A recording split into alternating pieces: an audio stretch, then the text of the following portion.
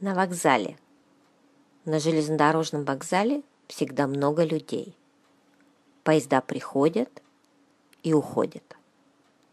Одни поезда приходят по расписанию, вовремя. Другие поезда опаздывают. Пассажиры ждут прихода поезда в зале ожидания или на платформе.